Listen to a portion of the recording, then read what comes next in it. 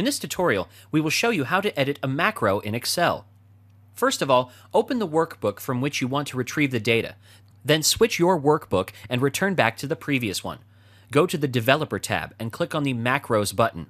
When the macro window opens, click on the Edit button. A new window will open for VB Editor where you can add codes. Go to the bottom of the codes. The words end sub mean that it's the end of the codes. So we have to write the code before end sub. Click at the end where it says active cells.select and press enter a few times to add space. We already made a macro which helped us in retrieving data from other workbooks. We can add a code which will ask the name of the person when the macro is run. In order to do so, write your name is equals to space input box bracket open inverted commas open what is your name question mark inverted commas close bracket close.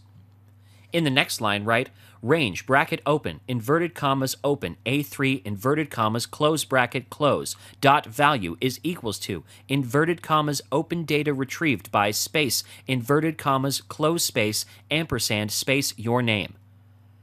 In the third line, write range bracket open inverted commas open a1 inverted commas close bracket close dot select. The first code is asking the question and displaying it in a box.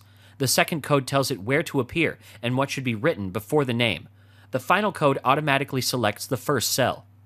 Now, when you will press Ctrl Shift G, which is the shortcut key to run the macro, it will get the data and will ask you for your name. Enter the name and press the OK button, and you will see that in cell A3, which we had used in the code, data retrieved by James will be displayed. Cell A1 will automatically be selected.